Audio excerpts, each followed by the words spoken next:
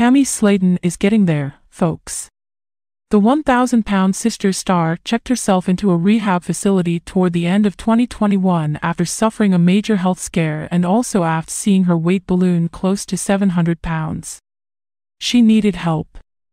And to Tammy's credit, she knew it. Over the past few months, Slaton has provided fans with the occasional social media update, typically just sharing a photo of herself from somewhere inside this facility on occasion, would respond to concerns over her well-being by assuring folks she was doing just fine.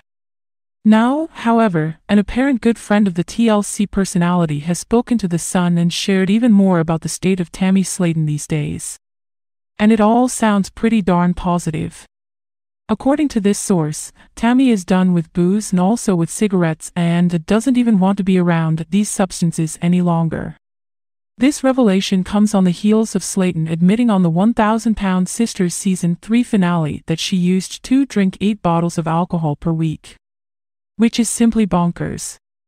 Now, however, Tammy's pal says the reality star hasn't had a drop of alcohol since entering rehab. Due to all of this progress, Tammy has been able to undergo an operation leaving her with a smaller breathing tube, the insider also emphasized. She hates her trach, Although it's gotten smaller, this friend told the Sun of the device Slaton must have on after undergoing a procedure to make it easier for her to breathe. Tammy only has to wear it part-time now. Perhaps most importantly and impressively, the acquaintance says Tammy may be able to leave rehab in the near future. She is doing very, very well and she will be out of rehab sooner than anticipated, the friend says. Originally, she was going to be out in late August, but she's going to be out sooner than that. Her birthday is coming up in July, and she would love to be able to celebrate at home. The question remains, of course, what will happen with Tammy after she's completed this stint? For example, because Tammy paid for rehab herself, she may not be able to afford rent when she leaves. Thankfully, when she comes out, she'll stay with me for a little bit. Soon as we find a place, she'll go there, Sister Amy said of her plans to help her sibling down the line, adding a while back. I'm not sure when she's gonna come back, but I know that she's getting the help she needs.